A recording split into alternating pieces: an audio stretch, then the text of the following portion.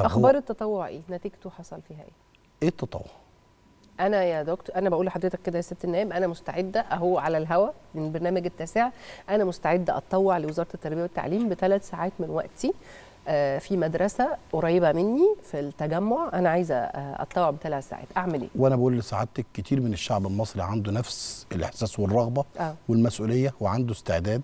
بس اديني الآلية اللي أنت على أساسها حطيت التطوع. طب ما الوزارة قالت تطوع. آه.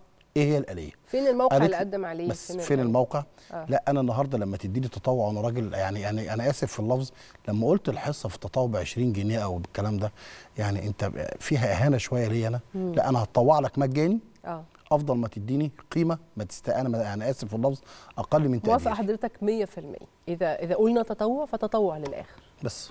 وهل تتوقع إنه في ناس هتقبل على ده؟ أنا بقول لك متوقع الشعب المصري في ميزة؟ كله عارفها كويس جدا العالم كله إحنا أول. ناس فاهمينها.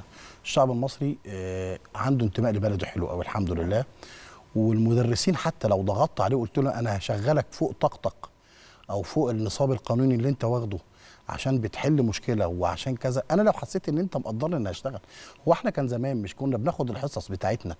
كان ليا نصاب قانوني سي 24 أو 18 أو وبعده بيبقى في حصص فاضية بنكملها إحنا. آه. كان زمان عامل حاجة حلوة قوي يقول لك بعد النصاب القانوني بتاعك حصتك دي بالأجر. آه. فكنا كلنا بنجري على إن إحنا ناخد بعض نصابنا بالأجر ليه؟ كأنه overtime بس overtime أنا شغاله. overtime. أنا فين. ده؟ مش موجود. طيب ده مش موجود مش موجود طبعا أنا مش؟ موجود. فين طيب. اللي بالأجر. مفيش. طيب فين التعيينات اللي انت هتعملها؟ مفيش.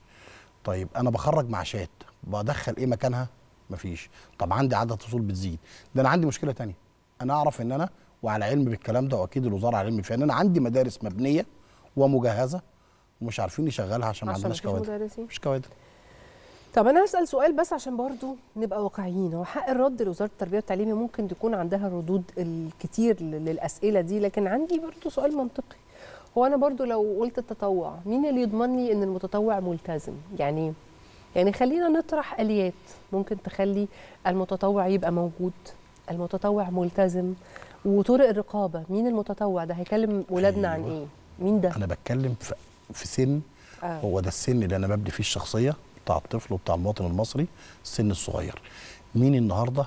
أنا كولي أمر أو أنا كدولة ودولة الحمد لله كأنها وعارفين ال- الحروب اللي بنتحاربها من كل الأماكن في سبيل إن إحنا ما نمشيش في مسارنا.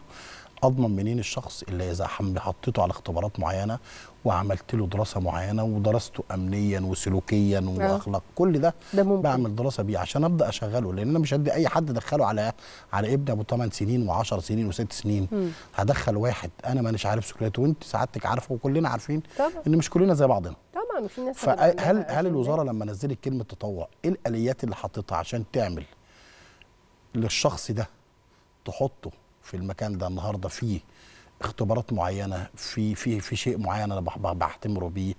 طيب ولما أجي أديله كمتطوع أنا النهارده جاي لك مجاني. لما تيجي تاخد هتاخدها مربعات سكنية ولا جيب لي سعادتك من التجمع زي ما أنت بتقولي وأنا عاوز أتطوع وأقول لك طب إحنا عندنا عجز في المهندسين. آه. طب أنا شوفني هقدر أروح ولا لأ؟ مش هقدر. مش هقدر. ده حقيقي مش هقدر. إيه اللي هيوديني لأ بس أنا هقول لك حاجة بقى يا ست النائب وأنا متأكدة إن ده هيحصل. لو وزارة التربية والتعليم عندها آلية حقيقية للتطوع المجاني. أنا موافقة جدا إن فكرة ال 20 جنيه في الحصة دي إهانة. طبعا. لا خليني أتطوع ببلاش. لو الآلية دي واضحة هتلاقي كوادر من أساتذة ودكاترة وناس في مستوى علمي وتعليمي. إحنا عندنا ناس خريجي جامعة في مصر النهارده شباب عندهم 24 سنة طبعا. و23 سنة.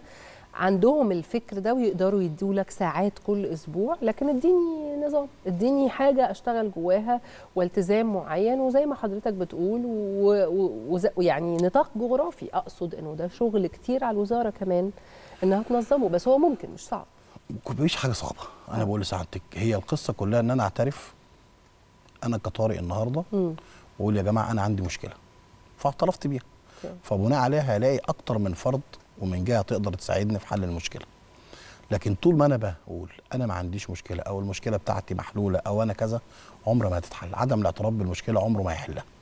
لكن إحنا شايفين بالفعل قدامنا فيه. في عجز فاقول لي سعادتك على حاجة. ومن ضمن ضربات الحطه اللي قلتها أنا قبل كده يا جماعة أنا عندي طلبة وفصول ما دخلهاش مدرسين في بعض المواد حتى الآن والترم في. امتحانات. طب أنا النهارده هحل بالتطوع احل بالأجر. أرجع تاني للمدرس قصة اللي بالأجر فوق النصاب القانوني بتاعي. ليه ما رجعوش؟